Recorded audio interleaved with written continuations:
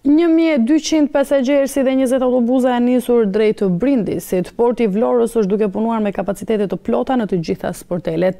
Këta njerëz po kthehen në vendet ku punojnë pasi në Shqipëri vijnë vetëm për familjet me të cilat bashkohen për festat.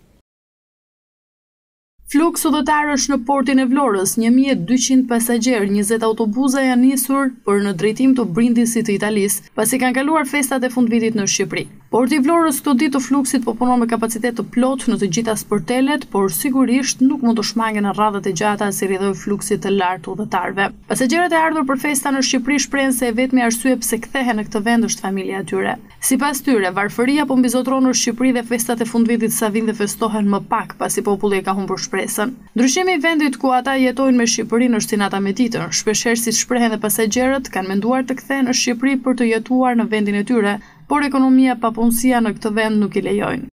Sandra Spano, përgjegjësja e sigurisë së tragetit Damian, shprehet se fluksi i udhëtarëve në këto ditë të para të punës për dy mijë e njëzet është tepër i lartë dhe tragetet e linjës Vlorë-Brindisi janë në gatishmëri dhe me kapacitet të plotë për t'i përballuar.